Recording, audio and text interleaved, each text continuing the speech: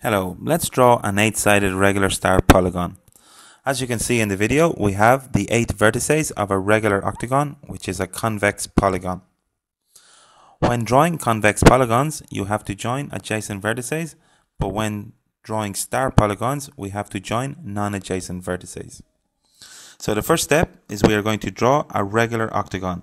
There are two methods to draw regular octagons. One method is by knowing the length of one side, Click this link and it will give you a full description on how to draw it. And the second method is drawing an octagon inscribed in a given circle.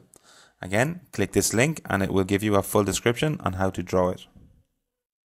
So once we have obtained these eight vertices, we will continue to step two, which is to draw our order two octagon, skipping one vertex at a time. So first we join vertex A to C, skipping vertex B, as shown here.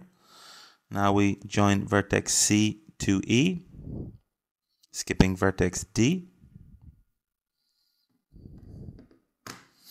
We continue joining vertex E to vertex G, skipping vertex F.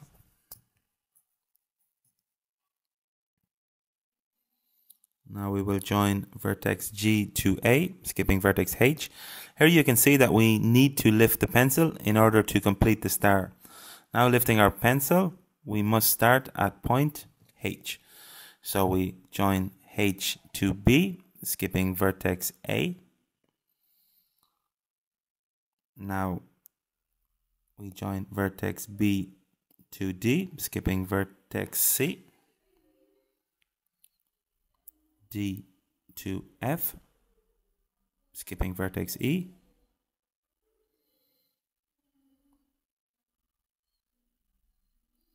And we join vertex F to H, skipping, skipping vertex G.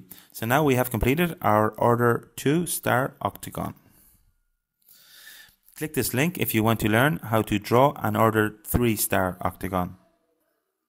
So by pressing the following link, it shows you how to draw regular star-shaped polygons with any number of sides and it also explains their mathematical theory.